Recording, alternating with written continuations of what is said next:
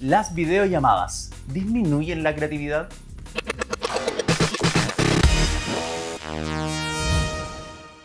Los modelos híbridos de trabajo se están poniendo de moda en las distintas empresas que pueden hacerlo, trabajando unos días desde la casa y otros en la oficina.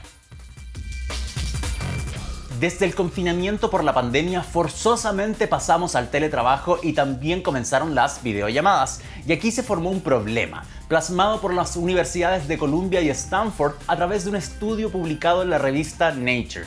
Ellos dicen que las videollamadas matan la creatividad afirmando que pensar conjuntamente nuevas ideas de forma online es menos efectiva que cuando se hace presencialmente.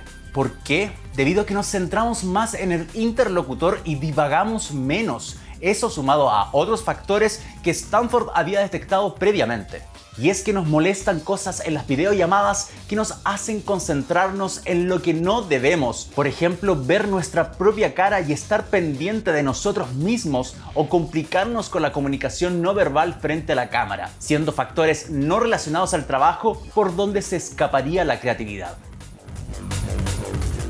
Recuerda que si te gustó este video suscríbete a nuestro canal y activa las notificaciones para que no te pierdas ninguno de los contenidos que preparamos para ti. Además de pasar por nuestra web ohmygeek.net por artículos diarios de ciencia, tecnología e innovación.